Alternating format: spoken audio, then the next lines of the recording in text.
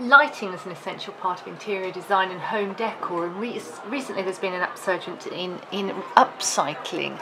But here is a vintage collect lighting collector's guide. It's very practical and it introduces what to look out for in vintage lighting, divided into Victorian, Edwardian, Art Nouveau, Art Deco, post-war, 60s, 70s, 80s, 90s and 2000s. It's all the important styles, and pointers as to what to recognise from different manufacturers, periods, and styles.